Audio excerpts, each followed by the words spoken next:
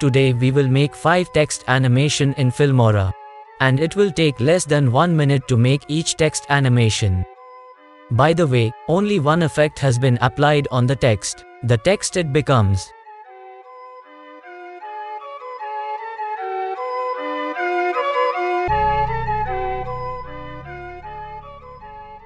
So let's make these text animations one by one. So first of all let's make this text animation. First you have to write your text, then after coming to effects, here in this search options, you have to enter the name of the effect. So the name of the effects that I used in the first text is tunnel. So almost, in making all text animation, these steps have to be followed. Which is easy enough.